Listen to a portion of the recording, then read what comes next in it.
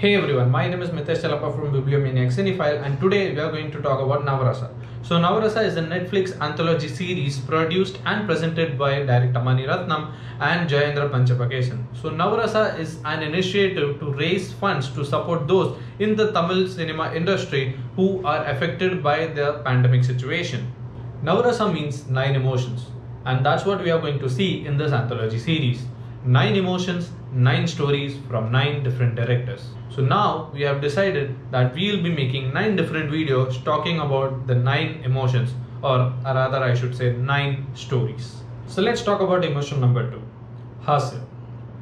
And this short has been titled as Summer of 92, directed by Priyadarshan, starring Yogi Babu, Remya Nambeesan and Nedumudi Venu.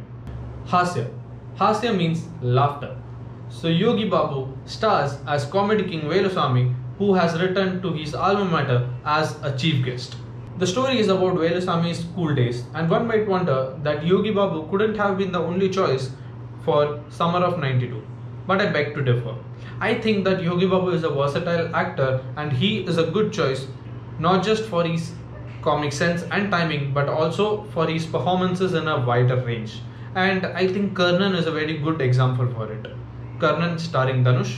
yes. I think Yogi Babu's role in Karnan was very different as to what he was doing for so long in all other movies.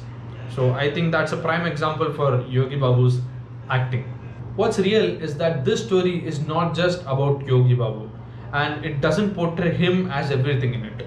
Other than that, I did feel like the story was a bit okay from the start, but after a point, I really liked it. There are certain things that I really liked in this uh, story. Uh, the whole ruckus with uh, Sandier and then the main antagonist of the story. Yes. It was good to watch Nedumudi Venu sir and YG Mahendran sir's acting and uh, overall the story is good but the screenplay is okay for half the time and then it becomes fun and acting is also good. Quick question Do you have a pet at home? If you do, then would you name your pet as Maharaja or King? Let me know in the comments below.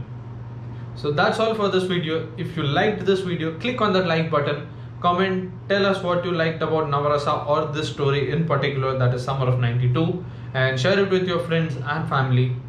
I will catch you with another Rasa. Till then, bye bye.